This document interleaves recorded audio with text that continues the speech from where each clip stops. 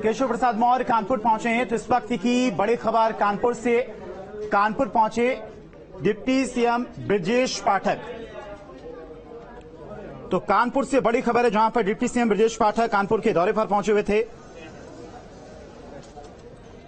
और sports hub का निरीक्षण किया। इस दौरान उन्होंने न्यूज़ स्टेट से बात करते हुए वन नेशन, वन इलेक्शन के साथ में इंडिया गठबंधन पर भी निशाना साधा। डिप्टी सीएम ब्रजेश पाठक जी हमारे साथ मौजूद हैं उनसे बात कर। सर आपने टीएसएच देखा? किस तरीके से अलग अलग इसका स्पोर्ट्स बड़ा स्टेडियम का निर्माण किया गया स्पोर्ट्स कॉम्प्लेक्स का। मैं कानपुर वासियों को बधाइयाँ देता हूँ और प्रमोटर्स का मैं आभार प्रकट करता हूँ। अच्छा काम स्पोर्ट्स के लिए। इस तरीके के स्टेडियम पूरे हर ज़िले में होने चाहिए अच्छा काम हुआ है। सर ये बताइए जिस तरीके से एक देश एक चुनाव की बात की जा रही है क्या फ़ायदा देखते हैं आप इससे? देखिए ये माननीय प्रधानमंत्री नरेंद्र मोदी जी ने प्रारंभ काल से इसकी चर्चा की है।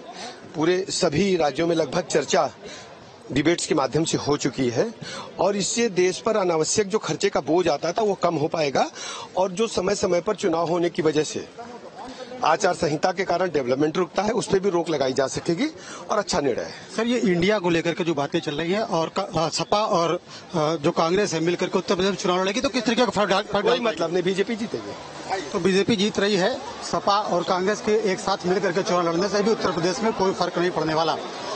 डिप्टी सीएम ब्रजेश पाठक ने यह बात कही, साथ ही उन्होंने इस स्पोर्ट्स मॉडल का प्रशंसा की टीएसएस जिस तरीके से बनाया गया, और उन्होंने कहा कि सभी जिलों में इस तरीके का स्पोर्ट्स मॉडल होना चाहिए, स्पोर्ट्स होना चाहिए। वीडियो जलित पांडे के साथ श्याम तिवारी, न्यूज़ स्टेट कानपुर।